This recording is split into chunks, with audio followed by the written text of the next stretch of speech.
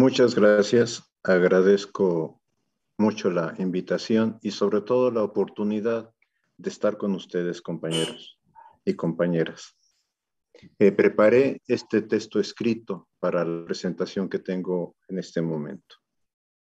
En general, la discusión sobre el regreso a clases presenciales el próximo 30 se ha centrado en los temas de salud, en las condiciones que hay que guardar para evitar contagios, en plantear si los niños y adolescentes son o no proclives a contagiarse con mayor frecuencia.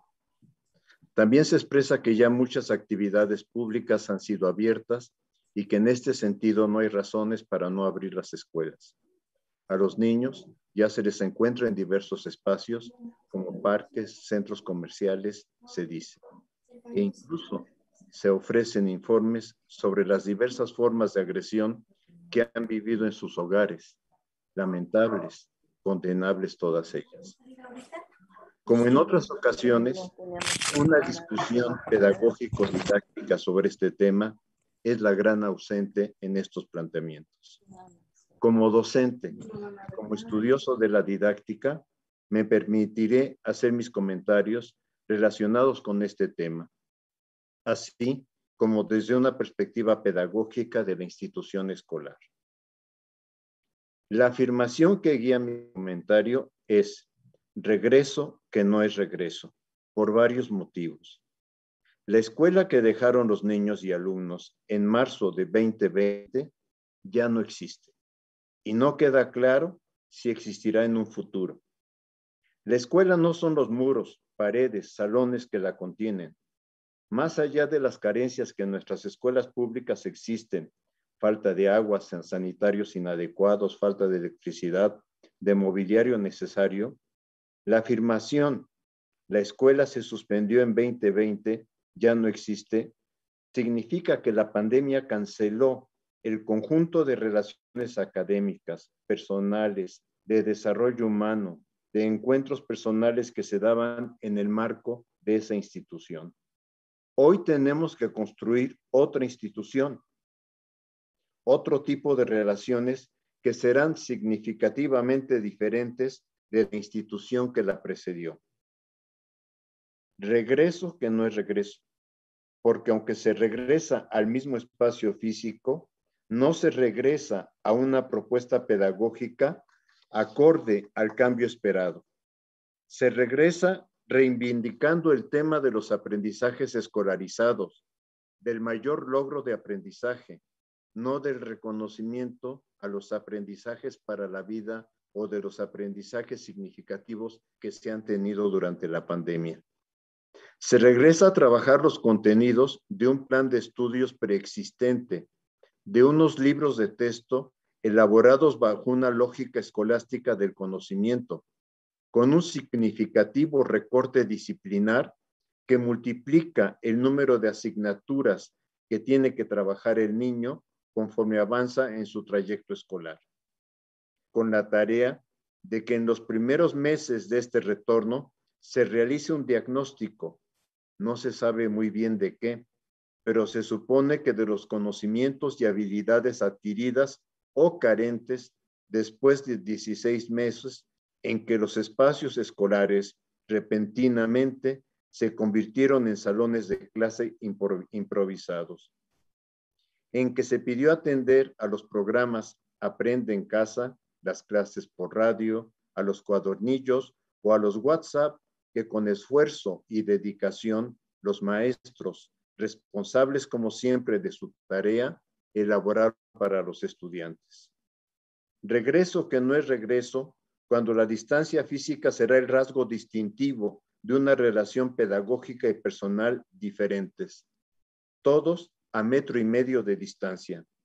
Cuando no hay rostros ni expresiones faciales que observar, el uso del cubrebocas, que al mismo tiempo protege, agotará a sus usuarios por el número de horas que los tienen que portar. Regreso que no es regreso, cuando lo didáctico quedará suspendido. Parece que serán dos las únicas tareas posibles para realizar en los distintos salones de clase. Escuchar a maestro o resolver ejercicios individuales. La interacción pedagógica quedará suspendida. La relación pedagógica como encuentro entre personas será rigidizada. Los trabajos en equipo, las discusiones en grupo estarán canceladas ante el distanciamiento físico que imponen las nuevas normas para la vida pública. Regreso que no es regreso cuando se encuentra la vida y dinámica escolar cancelada, en donde lo que se enfatiza son una serie de normas que solo crearán ambientes altamente burocratizados.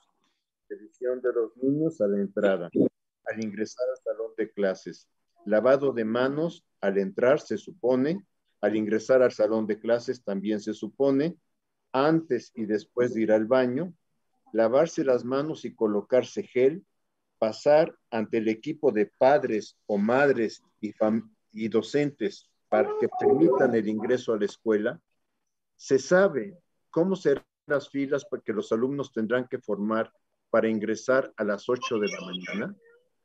Regreso, que no es regreso, cuando se doblan, triplican o cuadruplican las tareas de los docentes. De esta manera, se necesita atender a los alumnos A, que les corresponde asistir lunes y martes, a los B, cuya asistencia será miércoles y jueves, a los C, una combinación de A y B, pero señalados como alumnos que tienen una insuficiencia en su manejo de conceptos y habilidades.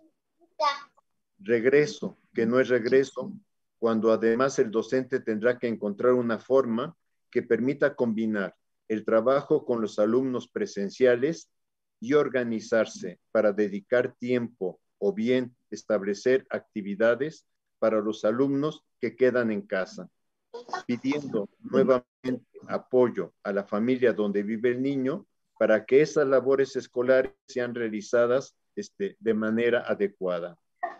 El horror de aprende en casa aún sigue girando en la opción, como opción en la cabeza de diversos actores sociales. Es mejor que nada, se suele pensar. Regreso, que no es regreso, cuando la comunidad educativa tiene la ilusión de una escuela universal que no existe en el país.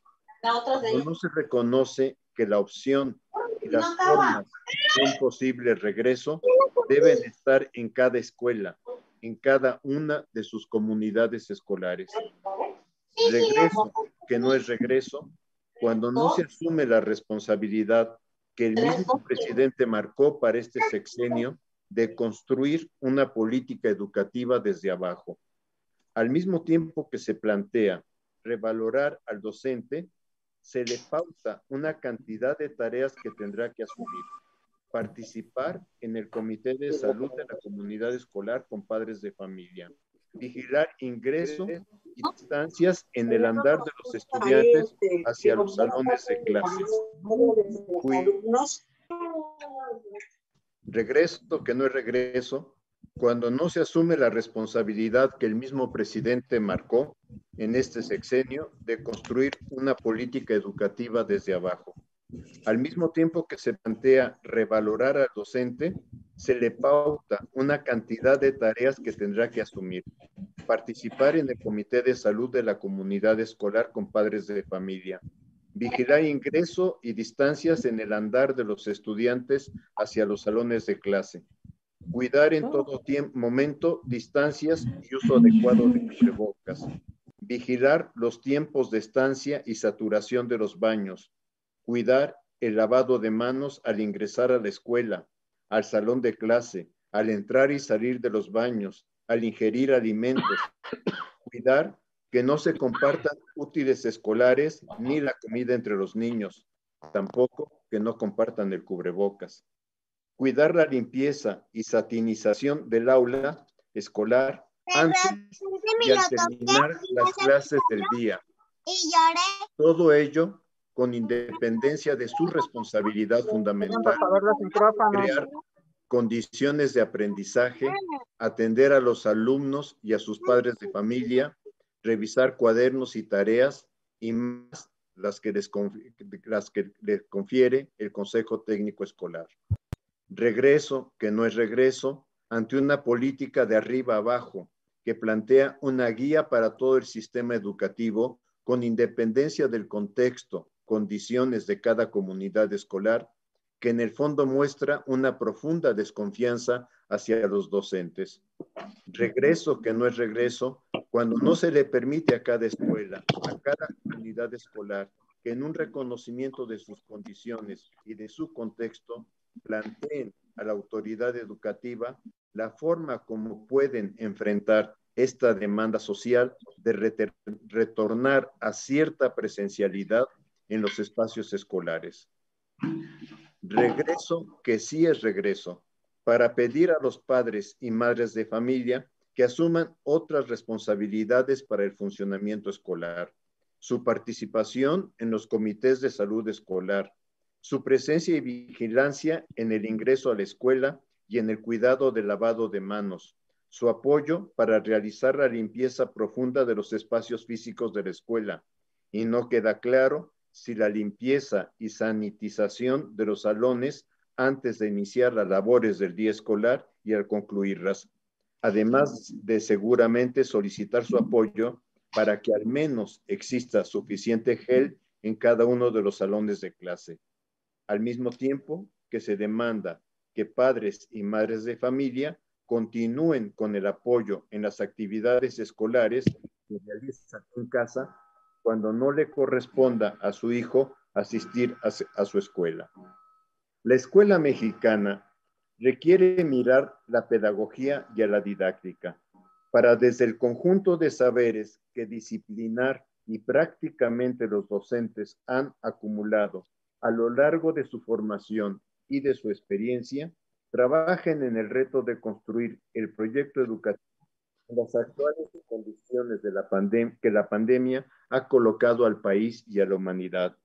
Voltear a lo pedagógico didáctico para analizar cómo construir proyectos de aprendizaje acordes a las exigencias del mundo actual, pero a partir de las diversas realidades de la ciudad, analizar cómo reestructurar los contenidos de aprendizaje que se necesita formular y la forma como tales contenidos se vinculan con los aspectos significativos de la vida del alumno.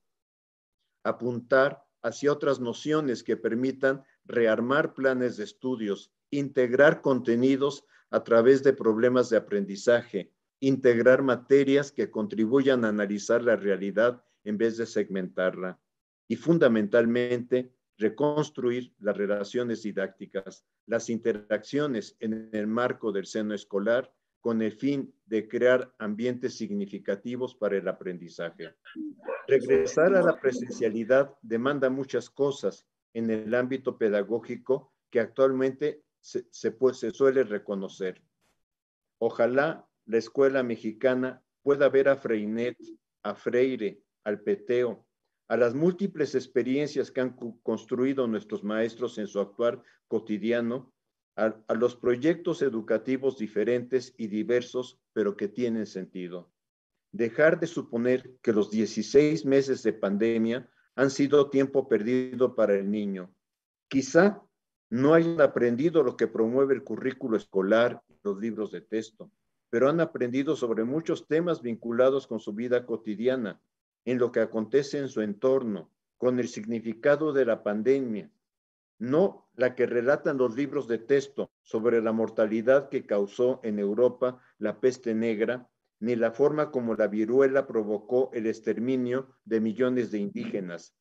El niño ha vivido en carne propia lo que es una pandemia desde la perspectiva personal, en la forma como afectó su vida, a su familia, a su entorno, desde el significado de la enfermedad, la salud e incluso la muerte de personas cercanas o allegadas, el dolor que significa esa separación, desde la necesidad de encontrar formas para comunicarse con sus amigos en el medio urbano a través del WhatsApp y en el rural y semirural yendo a la siembra, al campo, a la venta de productos al mercado. Desde la perspectiva de las ciencias, en lo, los niños han aprendido lo que es un virus o la dificultad que hay para elaborar una vacuna. Desde la perspectiva social, de muy diversos ángulos, los cambios que observa su alrededor, el uso social del cubrebocas e incluso la forma como se expande el virus en la población, en la República o en el mundo. Lamentablemente, no son los aprendizajes cotidianos que se suelen impulsar, reconocer, valorar y aprovechar en el sistema educativo. El niño ha aprendido de sus hermanos, de sus familias, de otros actores que han interactuado con él. Ha aprendido que en la sociedad el aprendizaje es diverso, es un proceso que no es homogéneo. No son los únicos aprendizajes que ha obtenido el niño los que he mencionado, pero son un indicador de la necesidad de replantear el currículo actual, de la necesidad de sentar las bases para avanzar en la construcción de planes de estudios integrados, donde los contenidos de las diversas asignaturas se vayan dosificando a través de la elección y conformación de diferentes problemas graduando paulatinamente su complejidad. Maestros, tenemos el reto enfrente de nosotros. Muchas gracias.